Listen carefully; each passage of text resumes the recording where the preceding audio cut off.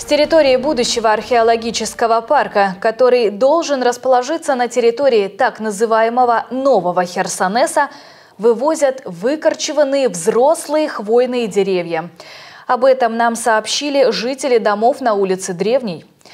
Неравнодушные граждане прислали в редакцию независимого телевидения Севастополя кадры, на которых видно, как взрослое дерево выкапывается экскаватором и выдергивается из земли автокраном.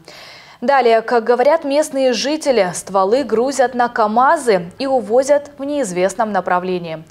Подобные манипуляции севастопольцы стали замечать за строительным забором с сентября – Последний такой случай, по словам местных, произошел вечером 2 ноября.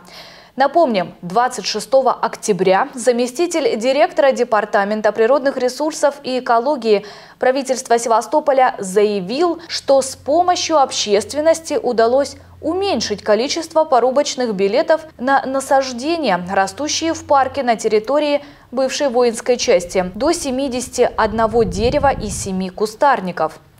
Выданы ли уже эти билеты, неизвестно, но вывоз выкорчеванных стволов с территории уже начался.